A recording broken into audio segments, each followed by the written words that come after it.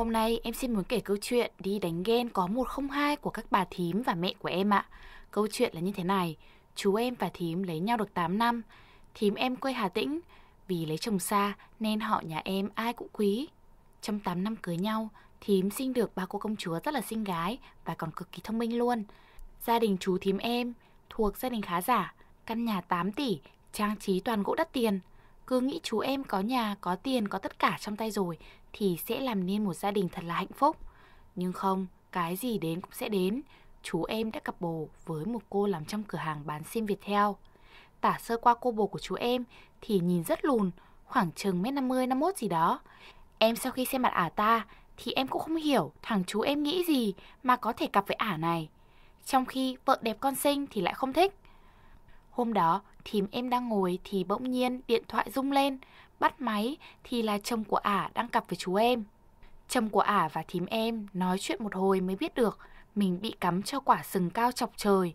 Tức tối vì bị chồng phản bội, thím liền gọi cho bố mẹ em là anh chị của chú thím và mọi người trong gia đình để nói về vấn đề này.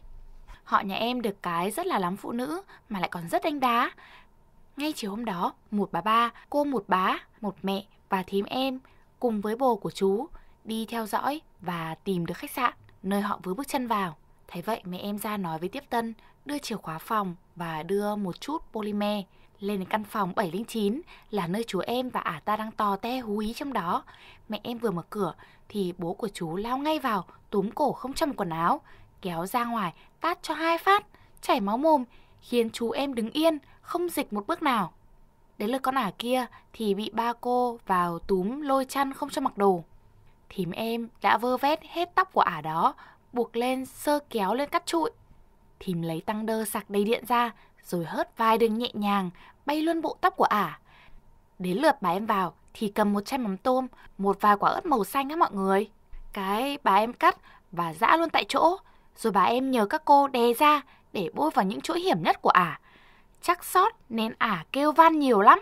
Mẹ em thấy ả kêu lắm quá, liền rút ngay cái guốc tông thẳng vào mõm ả.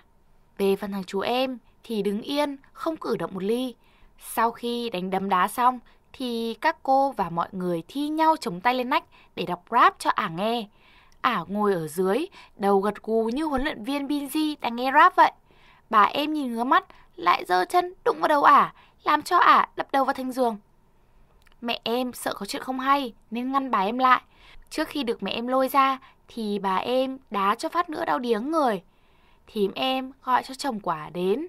Lúc lên đến phòng, chú kia nhìn vợ mình như thế nhưng không những không thương mà lại càng cáu gắt hơn. Chú nhảy vào tát qua tát lại hơn 10 cái, làm má của ả sưng vù lên, rơi mất cái răng xuống giường. Bố của chú em thấy đánh vậy là quá đủ rồi, nên đã bảo mọi người đi về để cho vợ chồng ả kia tự giải quyết. Ngay hôm đó, ả về ả nhắn tin xin lỗi và kể toàn bộ sự việc đã bỏ bùa chú em, khiến chú em mê mẩn ả như thế. Chồng ả cũng trả lại 2 tỷ ba mà ả lừa của chú cho thím em.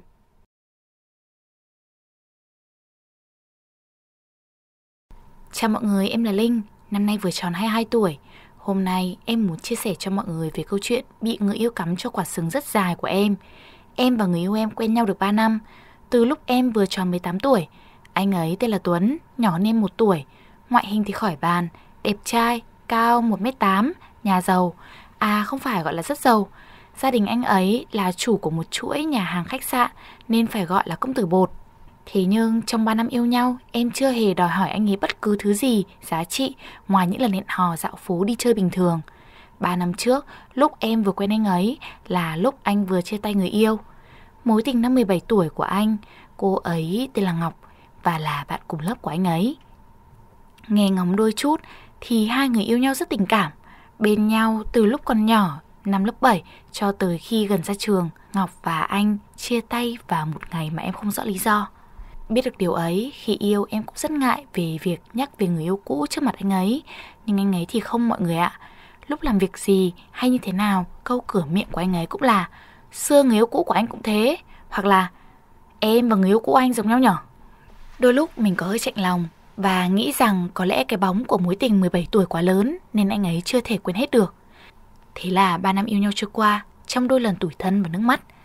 Nhưng vì yêu anh ấy nên em chọn ở lại câu chuyện sẽ không sao nếu gần đây em phát hiện ra một chuyện động trời.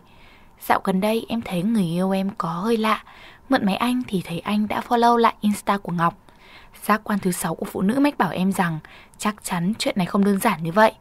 Vậy là em đã lập luôn một account clone chỉ để follow Ngọc.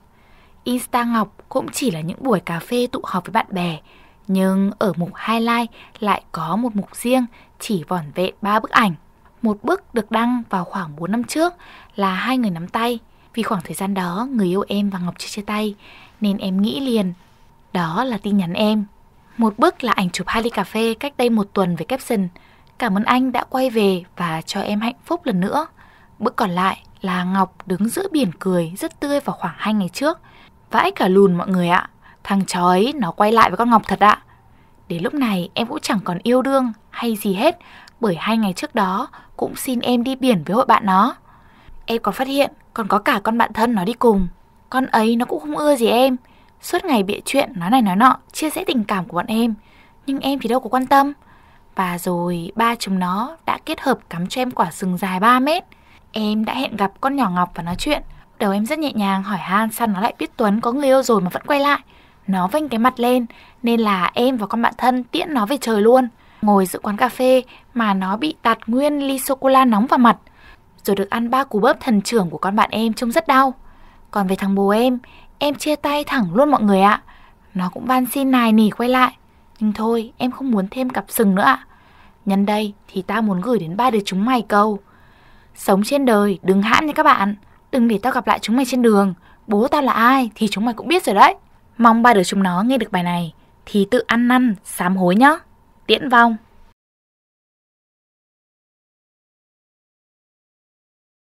Mình năm nay 20 tuổi, làm ở Hà Nội. Mình và bạn Nam quen nhau 5 tháng thì quyết định có một chuyến đi du lịch ở Sapa. Vì bọn mình yêu xa nên ít khi có thời gian gặp mặt, chủ yếu là qua điện thoại. Bạn Nam bằng tuổi mình đang học điện, bạn ở Lai Châu thì mình ở tận Hà Nội. Hai đứa đã về ra mắt ba mẹ mình. Sau chuyến đi Sapa một tuần đó thì mình đã có bầu. Mặc dù đã uống thuốc tránh thai cẩn thận, bé đến với mình như một cái duyên thật sự. Mới đầu mình cũng rất lo lắng và rất sợ, sợ ba mẹ mình biết chuyện. Còn bạn Nam thì là một người rất nghe lời bố mẹ. Bố mẹ bảo gì nghe đấy, chuẩn một mama boy chính hiệu. Tính bạn Nam thì rất hay ghen, nên khi yêu mình sẽ cắt đứt tất cả các mối quan hệ ngoài luồng. Bạn bè từ bé cho đến lớn, kể cả là bạn của bạn Nam kia cũng không được liên lạc. Khi yêu thì định vị điện thoại 24 trên 24, đi làm về là gọi điện phê thăm ngay, chứ chậm một chút là giận dỗi. Mình thì ở cùng ba đứa con gái, nhiều khi còn cãi nhau với chúng nó vì gọi cho người yêu nhiều quá. Khi mình thông báo mình có thai, thì bạn nam kia đã hỏi ngay một câu là Sao em để cho có? Để anh suy nghĩ đã. Chắc gì đây đã là con của anh. Lúc đấy mình điên lắm, mình gọi điện nói chửi. Hai đứa cùng phòng cũng nói, cuối cùng cũng thôi. Bạn ấy nói cho bố mẹ biết và mình cũng nói cho bố mẹ mình biết vì sợ để lâu bụng to lên. Bạn ấy đưa mình từ Hà Nội về nhà bạn ấy, nói chuyện với bố mẹ mình xin cho mình lên gặp ba mẹ bạn ý. Bố mẹ mình cũng đồng ý. Tưởng như mọi chuyện suôn sẻ và có cái kết đẹp, nhưng mà không. Đời không như mơ. Khi đi gần 500 mét, đi đến Lai Châu, thì bạn cho mình chờ ở nhà chị bạn đó. Đời không như mơ. Khi đi gần 500 km đến Lai Châu, thì bạn cho mình chờ ở nhà chị bạn đó. Còn bạn đi lên gặp bố mẹ ở trên bản. Nhà bạn này thì theo đạo công giáo nên rất là khắt khe chuyện có bầu trước và chuyện lấy chồng thì phải theo đạo. Sau khi bạn ấy lên nói chuyện với bố mẹ xong thì bạn gọi một cuộc điện thoại bảo rằng bố mẹ bạn ấy không đồng ý cho cưới, bảo không chắc đây là con của bạn đó, bảo mình muốn làm thế nào thì làm. Ủa, vậy trách nhiệm ở đâu? Nhà bạn ý chẳng có gì, công ăn việc làm cũng không có, gia đình thì bình thường, cũng chẳng đẹp trai gì, vậy bảo mình lợi dụng. Trong khi bạn kia có gì để mình lợi dụng đâu. Mình bảo nếu anh không tin, anh có thể xét nghiệm ADN để tránh phải sợ nuôi con thằng khác. Nhưng không, bạn đó im phăng phắc, không nói một câu nào nữa cả. Ở đấy 4 ngày, mình cảm thấy không được chào đón, mình mới xin phép chị bạn để mình về nhà. Do mình gầy cũng ốm nghén nhiều nữa. Chị bạn cũng ừ một câu, rồi kệ mình luôn. Trong khi bạn kia xuống nhà mình xin phép, đón mình lên ra mắt và nói chuyện chứ. Một mình mình bắt xe hơn 500 km về nhà trong đêm, đi đến 2 giờ sáng mới về đến nhà mưa tầm tã, cầm túi đồ ướt như chuột lột về gõ cửa gọi bố mẹ. Hôm sau, mình sốt ra máu, bố mẹ thương con đưa đi bệnh viện thì mình đã yếu sẵn, cộng thêm đi đường dài nên dính mưa với suy nghĩ nhiều, mình bị sảy thai. Lúc này mình không dám giấu bố mẹ nữa, mình mới nói cho hết. Bố mẹ thì thương con an ủi, mình nằm liệt đúng 2 tháng liền do thiếu máu từ bé, cộng thêm sảy thai lại mất máu nhiều. Nhà mình phải chạy vậy đi xin máu, đi mua máu khắp nơi. Đã vậy, lại làm mất thẻ bảo hiểm, làm cho tiền mất, tật mang. Nhưng sau khi biết tất cả mọi chuyện, bạn Nam không hề hỏi thăm mình. Gia đình bạn ý cũng chẳng ý ới gì luôn. Vậy nên các bạn nữa ạ, à, hãy yêu thương bản thân mình nhé. Đừng có mà nghe lời ngon ngọt của mấy anh mama boy rồi rước khổ vào người. Mình xin cảm ơn.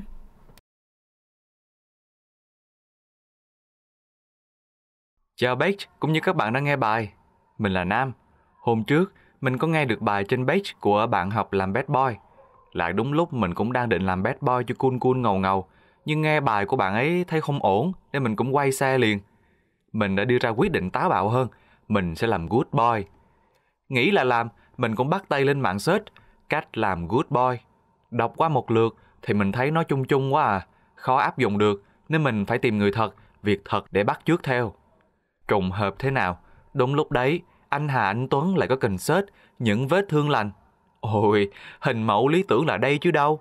Thế là mình phải đi săn ngay vé và phải công nhận đó là công cuộc săn vé khó khăn nhất của cuộc đời mình. Đi xem anh hát, nhưng mình vẫn không quên nhiệm vụ học lõm công thức làm good boy. Nhưng chả hiểu học hành kiểu gì mà về mình chỉ còn nhớ mỗi câu.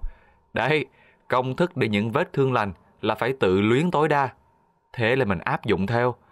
Ngày sáng hôm sau, 5 giờ sáng, mình đến trước cửa nhà bạn nữ mà mình để ý mấy hôm rồi. Bấm chuông rồi gọi bạn ấy xuống. Bạn ấy bước xuống, vừa đi vừa dụi mắt. Chắc vừa ngủ dậy. Bạn ấy nhìn mình rồi hỏi. Có gì không bạn? Mới 5 giờ sáng mà. Mình tự tin áp dụng ngay công thức học lõm được từ anh Tuấn. vuốt tóc, ngẩng cao đầu nói. Chào cậu, trông tớ đẹp trai lắm đúng không? Sau câu nói ấy của mình, thì bạn ấy tỉnh ngủ hẳn. Nhìn mình với ánh mắt ngơ ngác ngỡ ngàng và tưởng chừng như sắp bật ngửa đến nơi. Bạn ấy sờ lên trán mình rồi nhẹ nhàng. Cậu bị sốt à hay bị điên? Bố thằng dở, mới sáng sớm đã gặp thằng thần kinh tự luyến rồi. Hãm dừa thôi. Nói xong thì đóng cửa ùn một cái rõ lớn, để lại mình bơ vơ, lạc lõng ở đó với bộ mặt ôi con sông quê. Nguyên ngày hôm đó, mình vẫn cứ vắt chân lên trán tự hỏi, thế quái nào mình áp dụng đúng công thức của anh Tuấn mà ta? Sao em ấy lại như vậy nhỉ? Nằm nghĩ mãi không ra, mình hẹn đám bạn ra cà phê ngồi rồi kể cho bọn nó nghe. Bọn nó nghe xong thì cười đến rung bàn rung ghế, có đứa còn xém phun ngụm cà phê vừa uống vào mặt mình, có đứa còn làm quá lên, nó nằm ra đất rồi cười sặc sụa như bố nó đã em bé vậy. Vừa cười vừa nói, nó vừa thi nhau chửi mình. Mẹ mày, mày đi tán con gái nhà người ta lúc 5 giờ sáng, nó chưa cầm chổi đánh mày là còn may đấy. Ờ, mình tưởng con gái thích con trai dậy sớm, dậy sớm nó thành công mà. Chưa nghĩ xong thì đứa khác tiếp lời. Anh bạn à, lần sau ấy có học ai thì nhớ tìm người nào thấp thấp thôi mà học. Người ta tự luyến vì người ta đẹp trai nhà giàu học giỏi hát hay. Tự luyến như thế được gọi là dễ thương, duyên dáng. Còn đã xấu mà tự luyến như mày ấy, kết quả như vậy cũng vừa. Nghĩ nó chán không rồi chứ. Thôi khỏi làm good boy cho rồi. Hay là bây giờ lại quay xe làm bad boy nhỉ? Cơ mà không được. Làm bad boy thì bị các bạn chửi ngu. Làm good boy thì bị mọi người chửi ngáo thần kinh. Làm food boy thì lại không có tiền. Mình phải làm gì đây mọi người? Ai cho mình xin công thức tán gái chuẩn nhất với ạ? À? Mình xin chân thành cảm ơn và hậu tạ một bịch bim bim mà nha.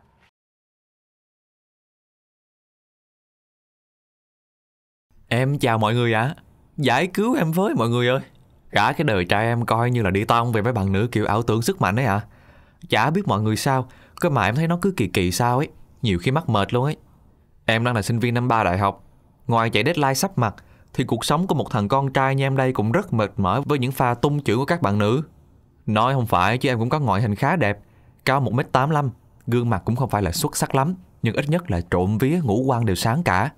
Bản thân em cũng khá thích thể thao, nhất là bóng chuyền, nên cũng khá giống gu của các chị em thời nay.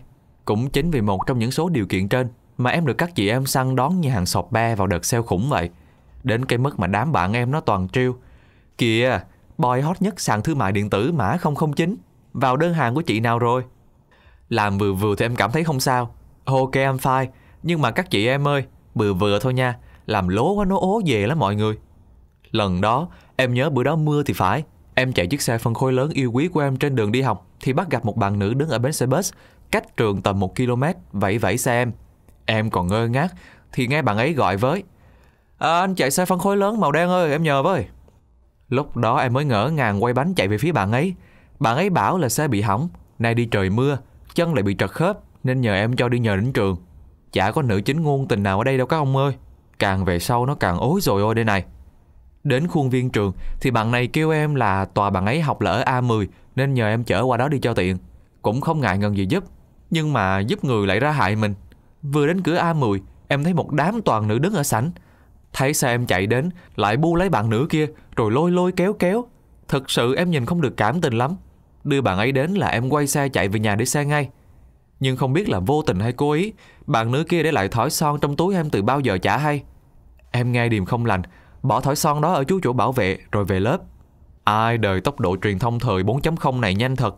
Vừa có xảy ra có hơn 10 phút Mà đã có tin báo nhanh rồi. Thằng bạn em có thấy vẻ vịt đực của em bạn đưa cho em xem một đoạn status của nick Facebook bạn kia. Có kèm hashtag cả tên em Và kèm theo một bức ảnh Em chở bạn ấy đi vào đến A10 nữa. Nội dung là kiểu ẩn ý. Nhờ quen em mà bạn ấy được cùng em đi học. Cùng em chạy xe qua cơn mưa đầu mùa hạ. Còn em là quá thích vẻ đẹp mộc mạc, Nên không cho bạn ấy đánh son, Để cho em cầm. Lúc đó em mới kiểu ba chấm, Nhanh chóng đến gặp bạn ấy, bảo bạn ấy xóa bài Và xin lỗi em, Có kèm theo lời nhắn, nếu bạn ấy muốn lấy lại son Thì đến khu bảo vệ, Chứ em không hề có trách nhiệm là phải đi giữ đồ cho người khác lạ. Dù sao thì em cũng phải bảo tồn cái đời trai này Cho vợ tương lai của em chứ.